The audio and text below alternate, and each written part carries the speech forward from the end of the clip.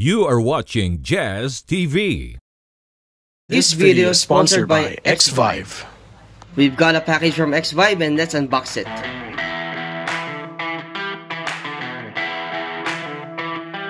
So, what do we got here? Of course, we got the manual,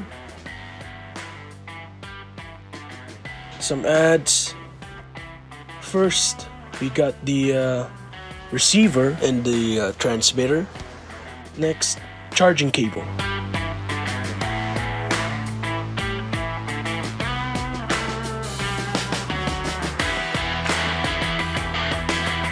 XVIVE also sent us the H1 transmitter holder. So let's see what's inside. We got here our the holster and the extender cable that we can extend our transmitter to the guitar.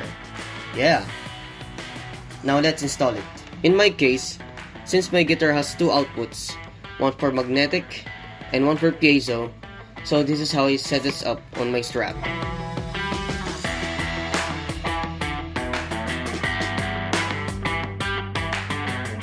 It's done and this is how it looks.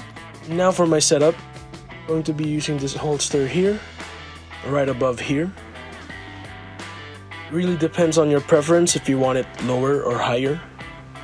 Now I'm going to insert this extender cable right through here and here. As you can see it fits well.